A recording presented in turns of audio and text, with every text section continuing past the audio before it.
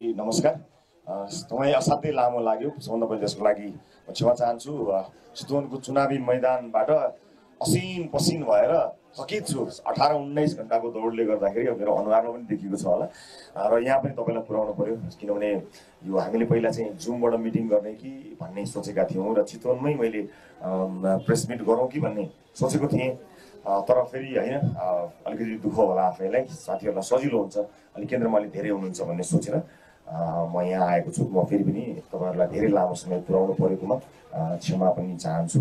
र आजको सबभन्दा पहिला आजको केन्द्रीय समितिको बैठकको निर्णयबारे यहाँहरूलाई जानकारी गराउँछु। त्यसपछि केही केही थोरै प्रश्नहरू मात्र लिएर म फेरि आफ्नो चुनावी यात्रामा दौड्नु पर्नेछ अ, म यो विज्ञप्ति आज भएको निर्णय यहाँहरूलाई पहिला पढेर सुनाउँछु।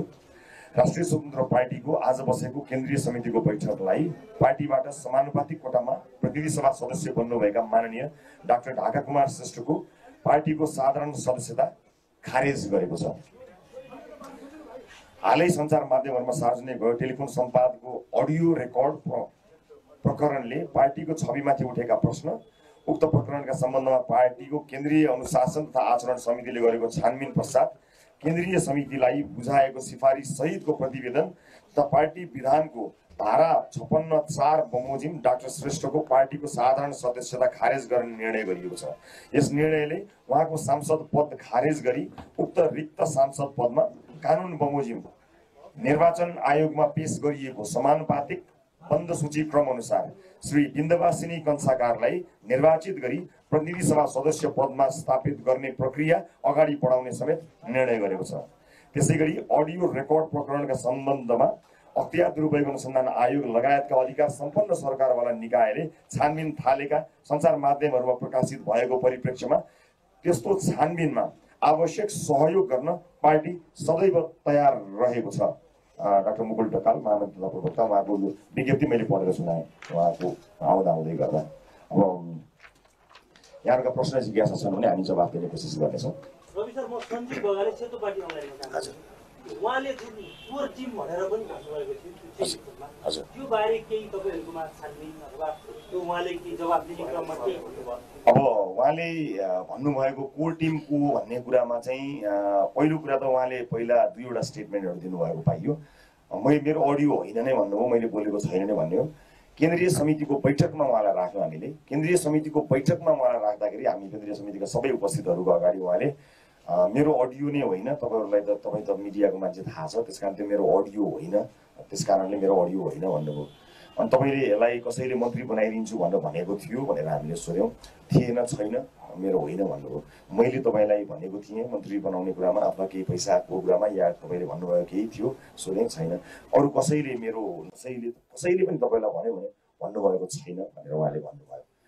र समितिसँगको प्रतिवेदनमा समितिले दिएको प्रतिवेदनमा उहाँ सब प्रमाणहरूसहित हामीले सङ्कलन गरेका छौँ। त्यसमा चाहिँ उहाँले फेरि त्यो अडियो प्रकरणमा चाहिँ यदि त्यो मलाई फसायो भने म चाहिँ नाम लिइदिन्छु भनेर भन्नुभएको। अनि फेरि त्यससँगै अर्को अडियोमा पनि त्यो अडियो चाहिँ त्यो कुराकानी उहाँको भएको भन्ने यथेष्ट ठाउँहरू देखिन्छ। र कोर टिम भनेको को के हो भन्नुहोस् भनिरहँदाखेरि म जसलाई पनि भन्न सक्छु पार्टीले मलाई सेभ गरेन भने म जसलाई पनि भन्न सक्छु भन्ने किसिमको भनाइको चाहिँ हामीले रेकर्ड नै राखेका छौँ अन रेकर्ड छ त्यो। त्यो हुनाले गर्दाखेरि अलिकति भनौँ न कुरा एकदम फेरिरहने परिस्थितिमा हुनुहुन्थ्यो कि जस्तो उहाँलाई लाग्यो। उहाँ त्यस्तो अवस्थामा हुनुहुन्छ। हामीले पटक पटक सोध्यौँ समितिले सोध्यो त्यस्तो कुनै चिज छैन भनेर भन्ने मैले आफैले पनि उहाँलाई दोस्रो दिन कल गरेको सोधेको थिएँ। र मैले उहाँलाई सोधेँ भनेको पनि थिएँ मैले आवश्यक पऱ्यो भने तपाईँसँगको मेरो कुराकानी आम सर्वसाधारणको लागि पनि सार्वजनिक गर्नुपर्छ भन्दा उहाँले मैले मेरो अडियो नै होइन मैले भेटेकै छैन भन्नुभयो।